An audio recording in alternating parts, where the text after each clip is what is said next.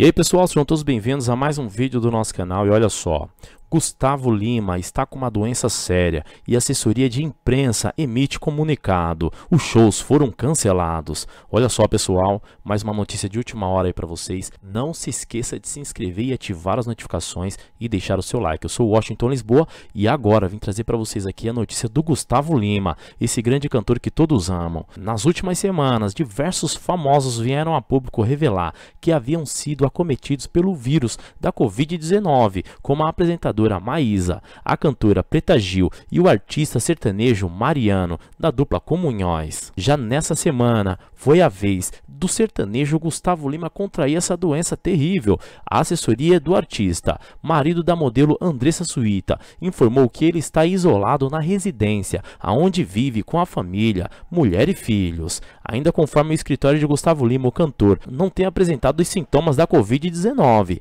As informações foram fornecidas pela equipe do através da conta do Instagram nessa quarta-feira. Segundo o comunicado diz assim: a Balada Music comunica que o artista acaba de testar positivo para a Covid-19 e em virtude disso, ele não participará na noite de hoje, dia 5, do evento de futebol solidário com Marrone e amigos versus Fome da cidade de Buriti Alegre de Goiás, disse o comunicado oficial da assessoria.